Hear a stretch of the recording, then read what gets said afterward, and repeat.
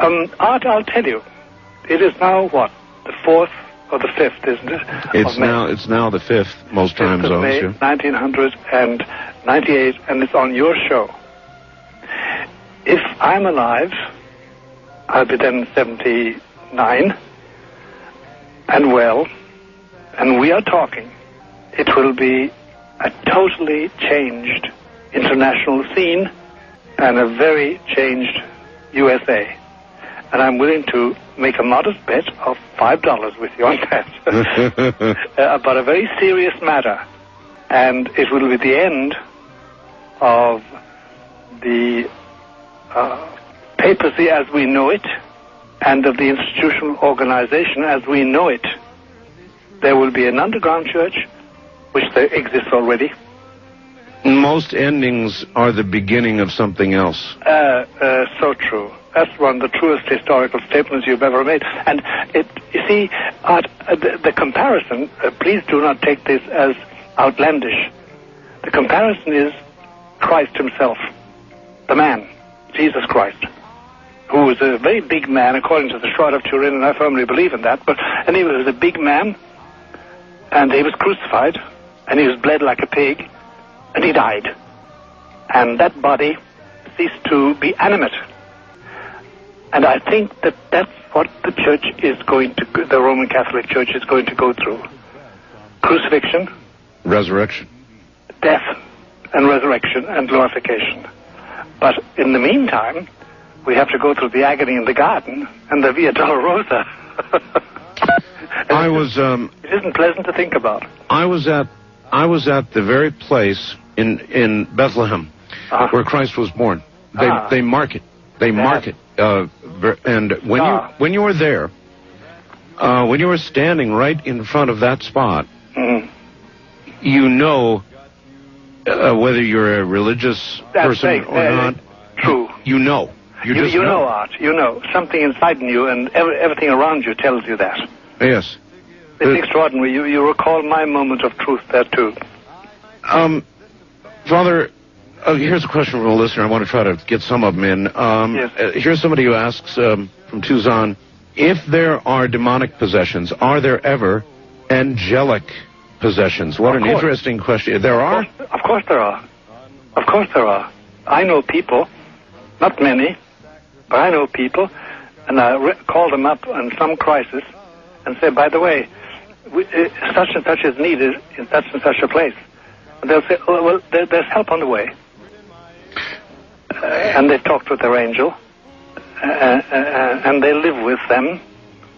And it's extraordinary. It covers the whole gamut, from young teenage girls to uh, grown men in responsible places in government and in science and the professions, to old people, to little children. It runs the gamut. Yes, there are, because the thrill of the demonic, there's always that. I keep that, using that word because that's what attracts its adherents. I would like to read uh, for you, Father, something uh, sent by uh, uh, Dr. Richard uh, Boylan, and uh, it is on the internet uh, worldwide right now. Monsignor Balducci, a Oh, yes. Vatican theologian, uh, insider close to the Pope, has gone, has gone on national Italian television five times in recent months to proclaim that extraterrestrial contact is a real phenomenon.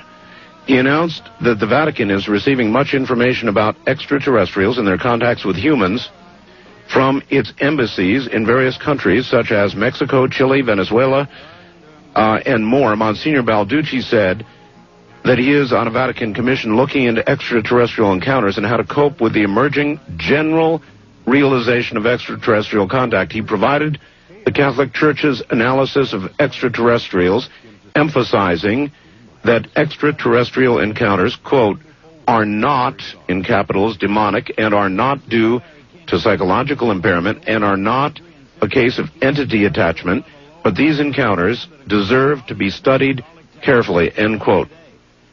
What do you, what can you tell me about this?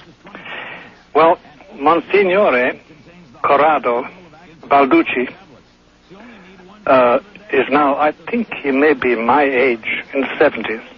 Yes, sir? I think, what I can find out. Um, he is not a blowhard. You know, he's not a, a publicity seeker. Mm-hmm. But the subject he discusses, and we're discussing now, and we'll be discussing this for quite a while out, especially in the light of things that will happen in the next year. Um, we're discussing a subject which is so volatile. It's really the uh, it, it's really the the Oh, source you, you hit a touchstone I there, with Father. my with my ear. I'm sorry. uh, uh, pardon me, and everybody listening, please pardon me. Um, I it's a volatile subject, uh, like nitroglycerin. It's ready to explode because here's the the central nub, which Corrado Balducci and everybody faces is this: until the relevant governments, and I realize I'm walking on thin ice here Thin ice, indeed. uh, a thin ice, uh, a thin ice of security, security, national security and international security. yes. So I've got to be very careful. Um, and Corrado Balducci, I hope, he should be careful too.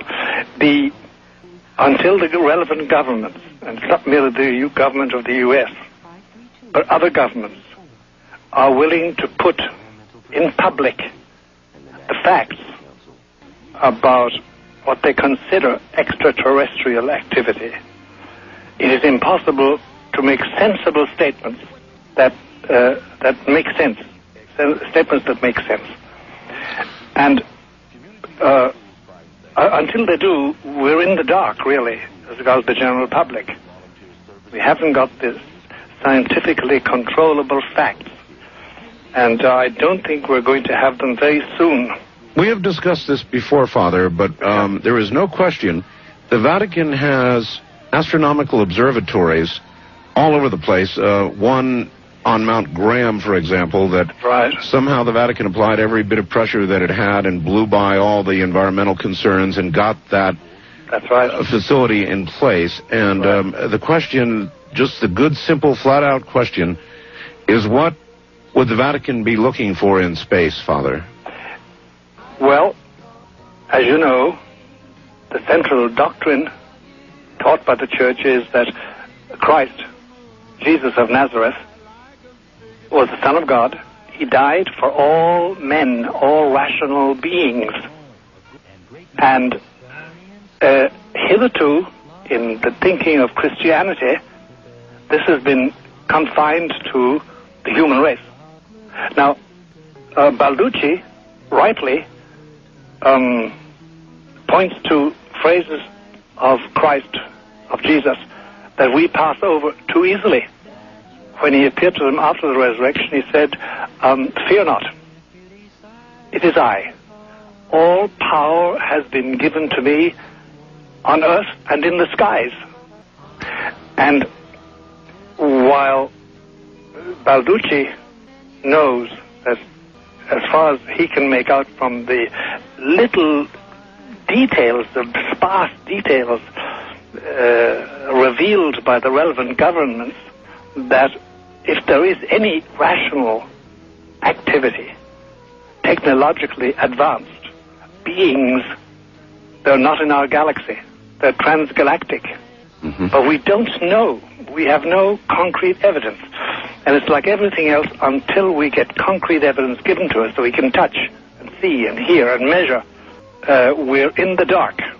But of course, the Vatican is absolutely uh, riveted by the possibility that there are rational beings, not necessarily human beings, uh, outside in a transgalactic position, but we don't know. So the great, the great, uh, the great uh, uh, pro- proviso, the great uh, temporary proviso, is to say we don't know, we suspect, we think.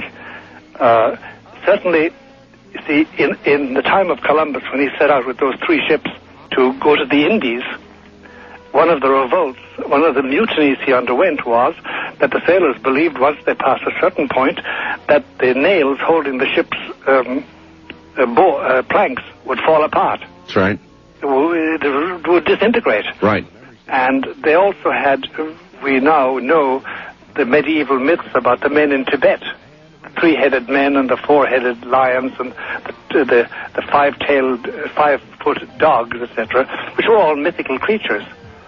And so a lot of people are inclined to say, now all this blather, all this talk about uh, extraterrestrials is really, it's, it's tricks of the demon.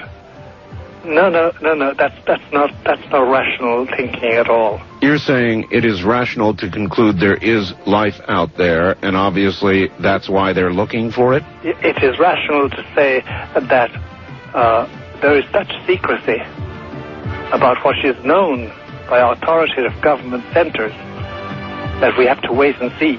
All right, Father, hold it right there. Sure. Good long break. We'll be back from the high desert. This is Coast to Coast AM.